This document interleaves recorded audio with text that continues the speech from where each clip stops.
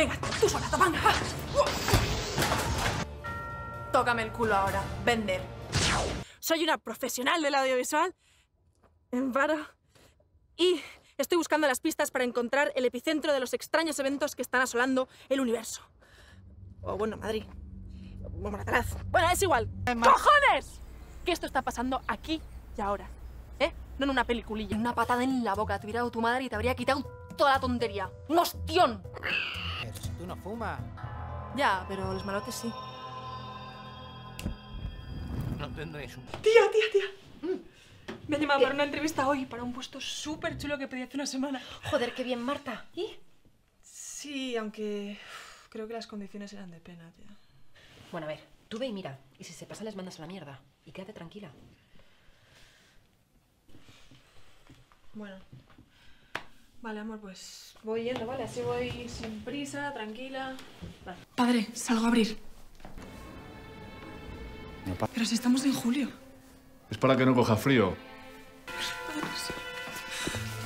Ya va siendo hora de que las mujeres entrásemos en la política. Como bien dice el padre, nosotras somos esenciales para el cambio. ¿Qué chingados tienes? Estás toda alterada, toda nerviosa. Él te hizo daño. Él te lastimó. Acábalo. ¿No conoce la zorra las costumbres del gallinero? Solo bromeaba. Su padre habla mucho de usted y de su hermano. Siendo gordo y joven, supuse que sería Vitorino. Mercedes, la llevo en la Citroën. ¿Demasiado vino lleva encima? En la despensa. Esta no. Seguro que el romano prefiere de esa. ¿Qué te tengo dicho? Usar los platos. No puedo, no soy ciudadana. Mi amigo nos puede ayudar. No quiero acabar en la cárcel. ¿Tú sí? Nunca nos descubrirán. Te podrían deportar y perder cualquier oportunidad de convertirte en ciudadano. ¿Eso es lo que quieres? ¿Te imaginas cómo seremos en el futuro? ¿Cómo que en el futuro? ¿Que estamos en una peli de ciencia ficción? No, hombre. En el futuro, no sé, dentro de 10 años. ¿Dónde andaremos? ¿Estaremos juntos todavía? Y yo no fui.